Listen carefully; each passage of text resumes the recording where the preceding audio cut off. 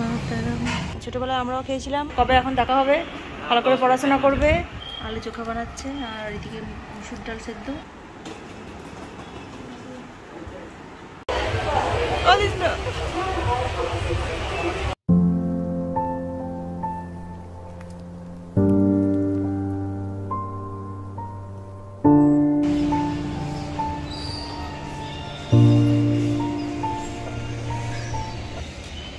দেখো, কত ফুল ফুটেছে দেখো। গুড মর্নিং গাইজ কেমন আছো তোমরা সবাই? আশা করব প্রত্যেকে সবাই খুব ভালো আছো আর খুব সুস্থ আছো। এখন আমি এসেছি ছাদে। ভাবলাম ছাদ থেকেই ব্লগটা স্টার্ট করি। এখন সকাল সাতটা বাজে। আজ আমি চলে যাব কলকাতা। তো ভাবলাম সকাল থেকে একটা ব্লগ করি। গাছে কত ফুল ফুটেছে দেখো। প্রত্যেকটা গাছেই ফুল ফুটেছে। আজকে এই গাছে জবা ফুল গাছে কম এসছে। এই গাছে আজকে সব ফুটছে, দেখো। এখনও ভালো ফোটেনি, এরপর ফুটবে। সবে সকাল হয়েছে তো। আর এই দেখো, বাবা নিয়ে এসছে ব্রাহ্মী শাক, গাছ লাগিয়েছে। ব্রাহ্মী শাক দিদির ছেলেরা খাবে। ব্রাহ্মী শাক খেলে স্মৃতিশক্তি উন্নত হয়, স্মৃতিশক্তি বাড়ে। ছোটোবেলায় আমরাও খেয়েছিলাম, বাবা এখন দিদির ছেলেদের জন্য নিয়ে এসছে। বাবা এখানে গাছ লাগিয়ে দিয়ে গেছে। দুদিন আগেই বাবারা চলে গেছে। আজকে আমার যাবার পালা। তো এইভাবে দেখতে দেখতে কয়েকটা দিন বেশ ভালোই কাটলো।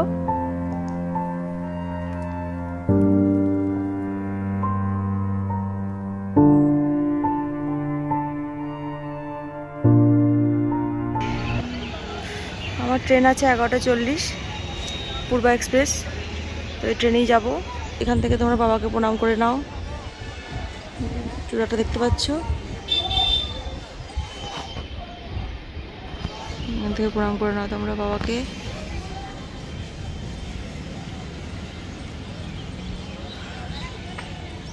তারপর ওরা সব জল আনতে গেছিল দেখো, এখানে ছাদে ওয়েট করছে। দিদিরাও যাবে জল আনতে, এখন জানাব এখন কাজ রয়েছে, কাজটা একটু কম হলে তখন যাবে। চলো তাহলে নিচে যাই এবার। নিচে দিদি কি করছে দেখি চলো। এই গাছগুলো দেখো কদিন আগে বাবা সেই লাগিয়েছিল, তোমাদের সাথে শেয়ার করেছিলাম। গাছগুলো দেখো নতুন নতুন পাতা আসছে। এদিকে দেখো ঋতুরাজ স্কুল চলে গেল। ঋতুরাজের আজ মুডটা একটু খারাপ ছিল তো সে কারণে ও স্কুল যেতে চাইছিল না জোর করেই ওকে পাঠিয়েছে ওর মা। তো যাই হোক আমাকে ভিডিও করতে দেয়নি ওই জন্য বাবা বাসে তুলতে গেল। এদিকে রিতম রেডি হয়ে গেছে। ওয়েট কেন করছিস? চকলেট দেবে মা তাই? রিতমের পড়ার জায়গা এখানেও বসে পড়তে বসে কবে এখন দেখা হবে? ভালো করে পড়াশোনা করবে? মায়ের কথা শুনবে? আর রাত্রিবেলা দুধ খাবি? হ্যাঁ ওই বলি মা তুমি খাও তাহলে আমি খাব। তুইও খাবি বুঝলি তো তাহলে মা খাবে নাহলে খাবে না মা। এটা তো দায়িত্ব। ঠিক আছে। দিদি এখন বিছানা তুলছে। ঋতুরাজ তো স্কুল চলেই গেছে। মা এবার রয়ে গেছে, সব জিনিসপত্র গুছিয়ে গুছিয়ে রাখে না। হ্যাঁ সব গোছাচ্ছে আর ছেলেকে বকছে সব গোছাস না কেন? গুছিয়ে গুছিয়ে রাখছে।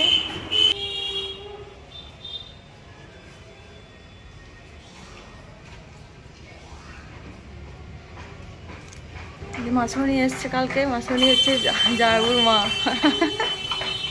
প্রীতমের ঠাকুর। না না। বলছি ভিডিও করছে হ্যাঁ সাবধানে যাবি। ভালো থাকবি হ্যাঁ? মা আমার কথা শুনবে মন দিয়ে পড়াশোনা করবে।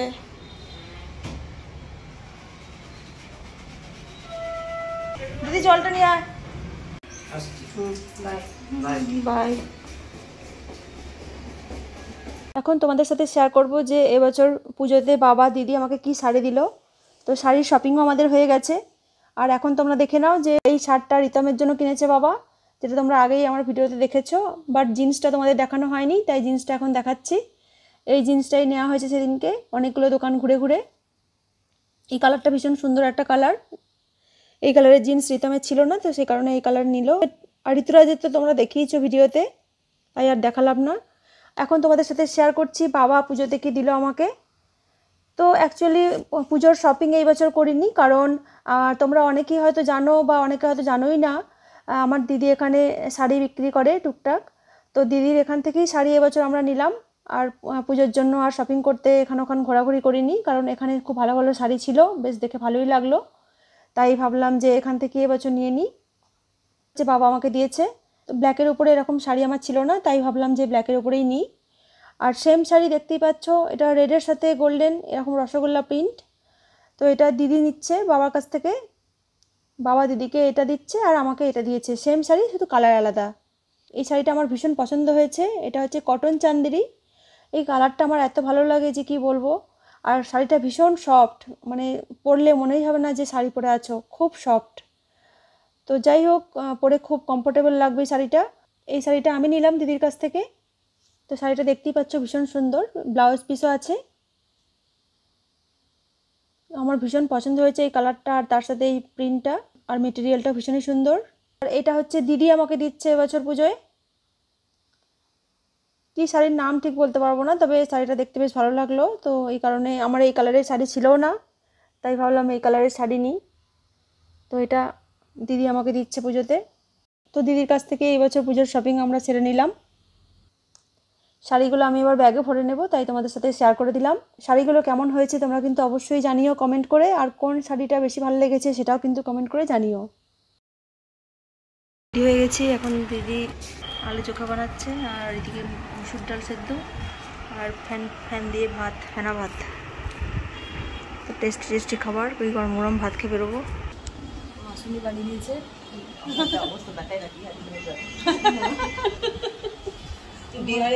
মাসুনি কালকেই এসছে। মাসুনির সাথে দেখা হয়ে গেল। যাই হোক, চলো এখন খেয়ে নিই। তারপর বেরোবো, বেরোনোর সময় আবার তোমার সাথে শেয়ার করব।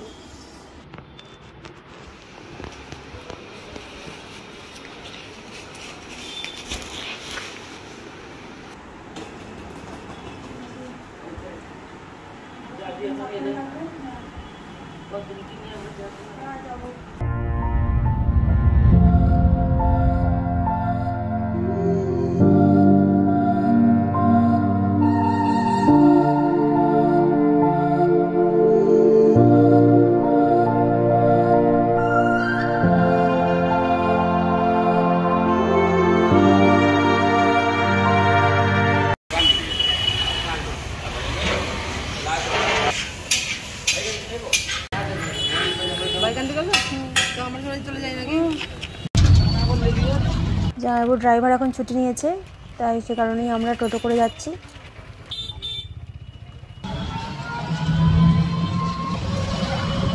জামাইবাবু বাইক নিয়ে যাচ্ছে আর আমি এদিকে টোটো করে যাচ্ছি। দু বোনে আমরা গল্প করতে করতে যাচ্ছি। বেশ কয়েকটা দিন খুব আনন্দ করেই কাটলো। আবার এখন কবে দেখা হবে? আবার বাবা যখন টানাবে তখন আবার আসব।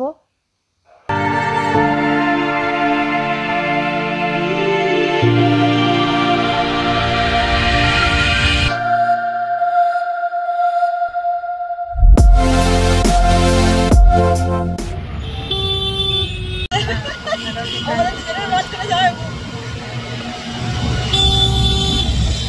জোসটি স্টেশনে পৌঁছে গেছি। জামাইবাবু ব্যাগটা নিয়ে যাচ্ছে। জোসটি স্টেশনের বাইরেটা এখন আমরা রয়েছি। তো আজ কিন্তু দারুণ রোদ উঠেছে। প্রচণ্ড গরম। স্টেশনের সামনে কত প্যান্ডেল রয়েছে দেখো। প্যান্ডেলগুলো খুলে দিয়েছে। তো শ্রাবণের টাইমে যারা জল ঢেলে বাড়ি ফিরতো, তারা এখানে আশ্রয় নিত। রেস্ট করতো, রেস্ট করে বাড়ি ফিরতো। শুয়ে আছে কেমন দেখো?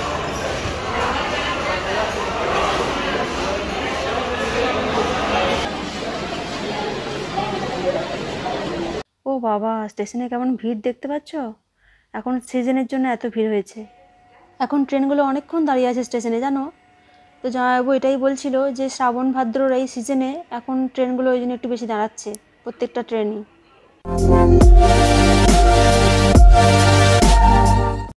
এগারোটা পঁয়তাল্লিশ বাজে এখনও তো টাইম হয়ে গেছে বাট এখনও ট্রেন এসে পৌঁছায়নি। যে ট্রেনে প্রচুর ভিড় হবে মনে হচ্ছে, অনেক প্যাসেঞ্জার একটা বান্ধবী রয়েছে, গল্প করছে সাথে ওই দেখো ট্রেনটা ঢুকছে। জানি না ট্রেনটা কতটা ভিড় হবে। এস ফাইভে আমার সিট পড়েছে। দেখি এবার ট্রেনে উঠতে হবে। তো আস্তে আস্তে আবার যাওয়ার দিন চলে এলো। চলো, এবার বাড়ি ফিরতে হবে। ট্রেনও এসে গেছে। দেখি এস ফাইভ কোথায় আসে।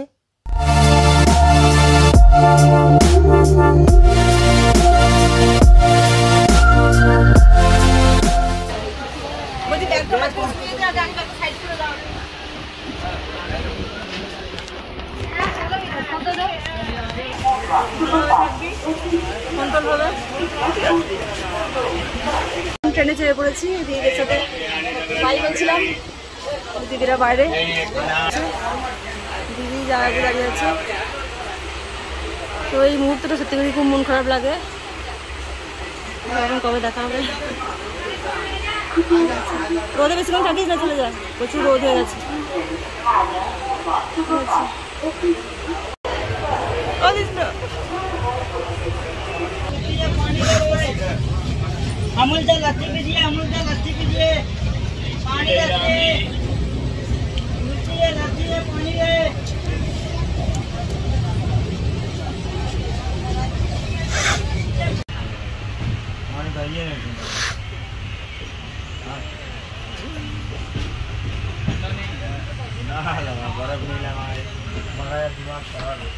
ট্রেন এবার ছেড়ে দিয়েছে, কলকাতার উদ্দেশ্যে রওনা দেওয়া যাক। এই মুহূর্তটা এত কষ্ট হয় যে বলে বোঝানোর নয়। এটা যারা এই সিচুয়েশনের মধ্যে দিয়ে যায়, তারাই এটা বুঝতে পারে।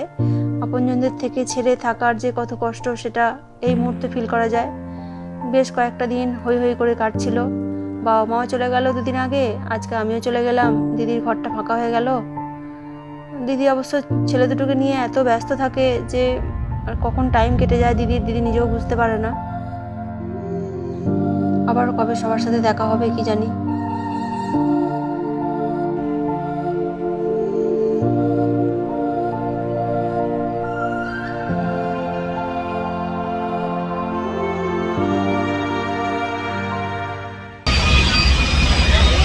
এখন এস- এলাম আমি। ট্রেনটা প্রায় ফাঁকায় ফাঁকাই যাচ্ছে বসে যাচ্ছে।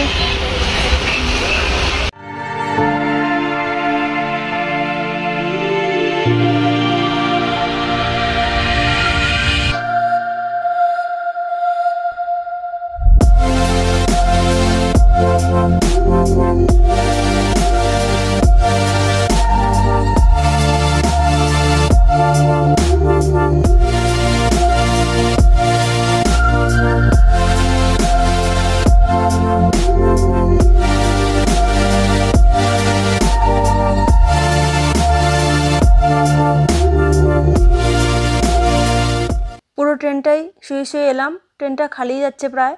এখন আমি বর্ধমান ঢুকছি। তোমরা অনেকেই জানো বর্ধমানে আমার বাড়ি। তো এখন ঠিক এটাই মনে হচ্ছে যে, ইস, এক্ষুনি যদি ছুটে গিয়ে বাবা মার সঙ্গে দেখা করে আসতে পারতাম, কত ভালোই না হতো, তাই না? তো যাই হোক, বর্ধমান পেরোচ্ছি। কবে আবার সবার সাথে দেখা হবে জানি না। তো খুব মনটা খারাপ করছে এখন।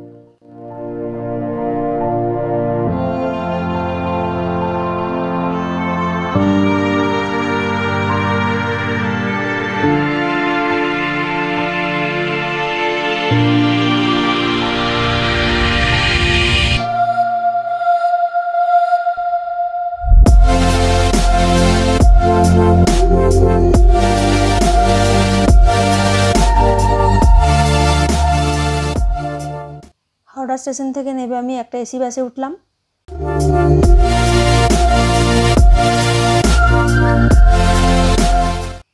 তাহলে চলো এবার বাড়ি ফেরা যাক।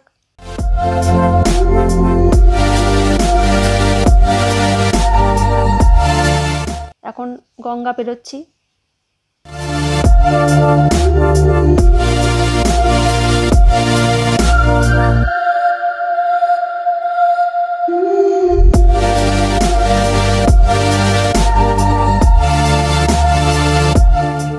বাস স্ট্যান্ডে নেবে, আমি একটা রিক্সা করে নিলাম। বাড়ির সামনে নামবো গিয়ে একবারে। ব্লগটা তাহলে আমি এবার এখানেই এন্ড করছি। দেওঘর থেকে কলকাতা জার্নি কেমন লাগল অবশ্যই কমেন্ট করে জানিও। ভালো লাগলে অবশ্যই লাইক শেয়ার আর সাবস্ক্রাইব করে আমার পাশে থেকো। আবার দেখা হবে নেক্সট ভিডিওতে ততক্ষণের জন্য ভালো থেকো, সুস্থ থেকো, সবাইকে ভালো রেখো। Bye bye